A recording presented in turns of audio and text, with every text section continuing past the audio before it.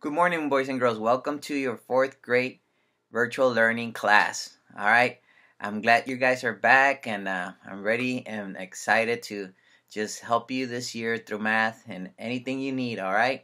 So, sorry I couldn't make it to class today. Well, I had something very important to do. So, I haven't. I had to take my daughter to college. So, I'll be back tomorrow.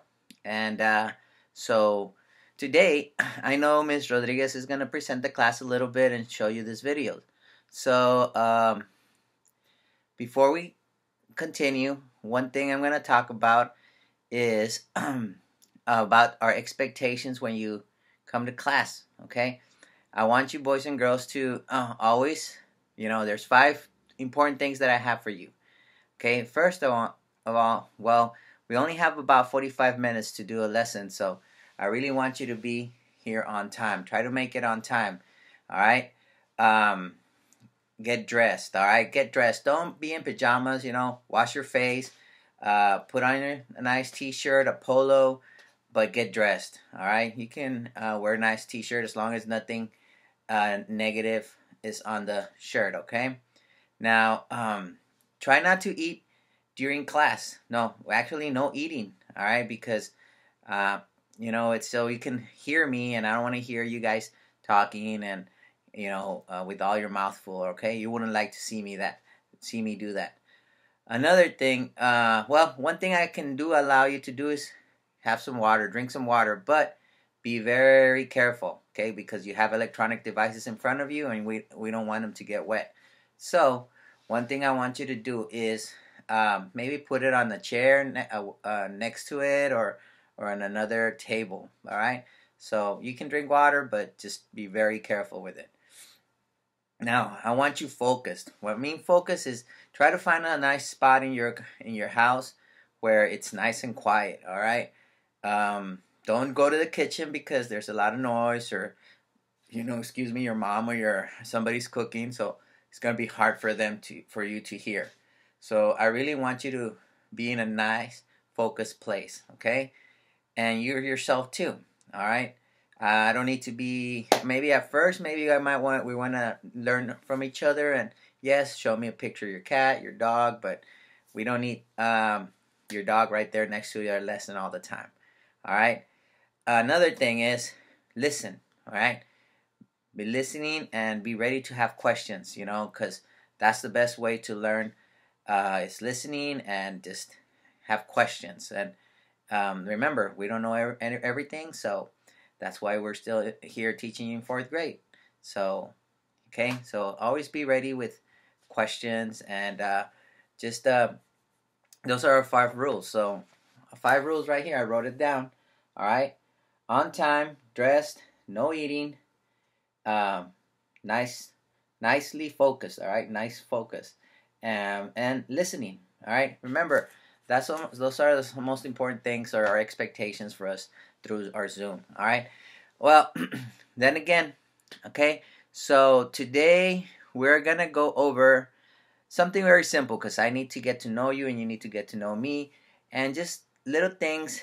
Uh, first, we're gonna start with something very simple, just little things. I'm gonna tell you about me. Uh, again, my name is Mr. Rios. Actually, my first name is Francisco. My last name is Rios. All right. I've been teaching it uh, in, for about 17, 18 years, right around there.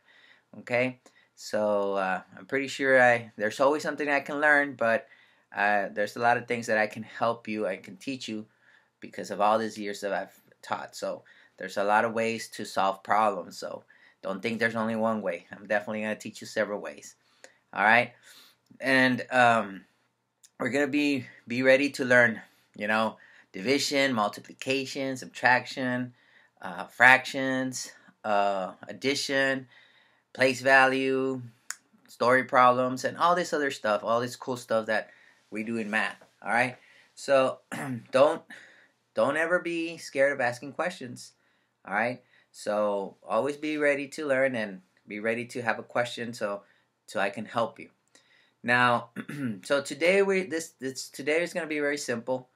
Alright, oh, and by the way, you only need pretty much a notebook, just one, for my class, and I think Miss Rodriguez needs one, Miss Portillo needs another one, and Miss Long needs another one. So four notebooks, all right, four four journals, and a pencil, anything to write with. Pencil preferably, just in case you make a mistake, you can erase. All right.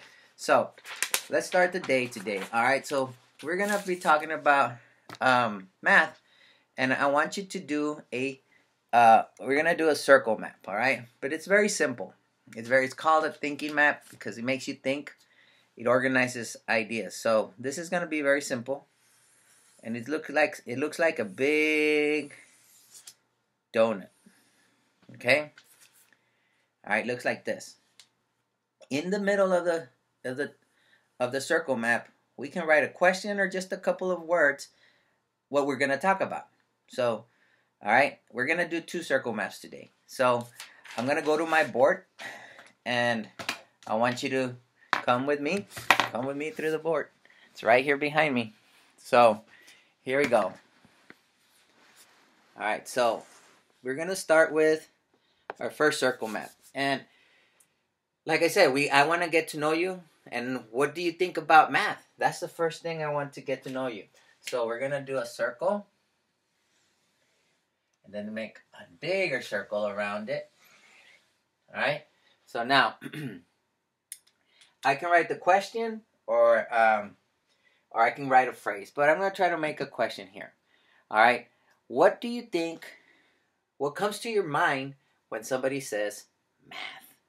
You know, what is what comes to your mind? What comes to your mind when you hear math? Okay, that's the math. Okay, all right. So there's many things that come to your mind. So some people get scared. Some people enjoy math. Some people love math. Some people like, yeah, it's okay. All right, and it doesn't matter. You don't have to love math because to be a good mathematician. All right. Uh, or some of you might say, "Oh, this is the hardest thing ever. I hate math because it's so hard." Well, it could probably be hard, but don't think that everybody, people that are mathematicians, were, you know, uh, born uh, knowing math. They had to be taught. So you're in that that age that you can learn a lot. So here we go. Let's be ready. What do you think when somebody says math? And it could be any word. All right. So we're gonna do a couple examples, and I'm gonna let you fi- finish the rest. Okay. So I'm gonna do five. So the first one would be for me when somebody says math. Math. All right. A lot of people think of this, and I'm gonna write write it as a bullet. Money. Okay. That's a word you're gonna fill out your thinking map. Some people say, "Oh, I think about money." When some people say, "Oh," uh, some people say, "I like uh, to count." When you hear math, you count. All right. When you hear math, you say, "Ooh, I see addition." Addition. When I see math, I see ooh a calculator. When I hear math, calculator or you can see the word math. Okay, it doesn't really make a difference. So there's many things that come to your mind: money, addition, calculator, count. Some people count. Some people might say, "Ooh, I." Some people it reminds me of my dad. Maybe your your dad took you somewhere. My dad. Where did your dad take you to, or what does he do that has to do with math? Well, my dad works in a bank. Okay, you can even put it right here, bank. Or he works at a, you know, he works uh, at Walmart and they have those uh, uh, cash register registers and stuff like that. So anything that comes to your mind when they hear math. So I'm gonna let you finish the rest. I want you to fill, put in 20. We have five, so I'm gonna want you to do at least 15. 15 ideas. Okay, give me 15 ideas. That what does math mean? What does comes to your mind when you hear the word math? Okay, that's your first um, thinking math. Now, so be ready to do another one. All right. So you're gonna do two thinking maps. The next one is, and you're also gonna be giving me 20 ideas, but I'm gonna we're gonna come up with five. All right. There's a lot of things that come to your mind when they hear math. Now this is a different question. Now this one says, what makes an, a, per, a person an amazing mathematician? And I'm just gonna write the word um, amazing.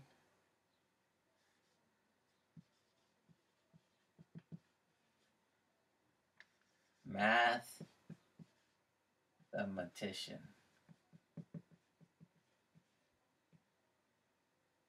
Okay. What makes somebody amazing at math? What do they do that makes them amazing at math? All right. Some of you come from Mr. Cintron's class, or from Miss Carter's class, or from Mr. Uh, Miss Brown's class, and you know, anybody. Think about what makes them good at math, or what makes you good at math. What made you get a hundred?